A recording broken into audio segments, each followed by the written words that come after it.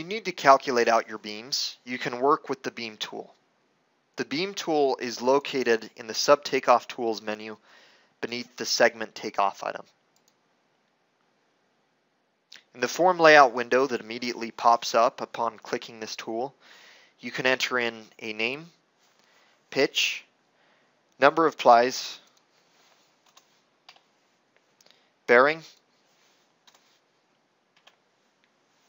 and under the length calculation property, you can have the beam rounded up to the nearest foot or the nearest two feet.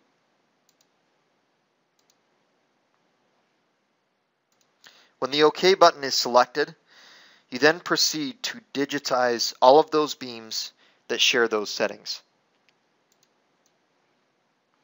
After the digitizing has been completed, note that a label has been generated listing our final calculations and our final results.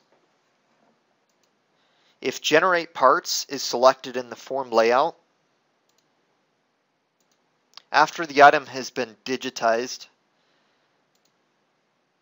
if you come to the estimating tab,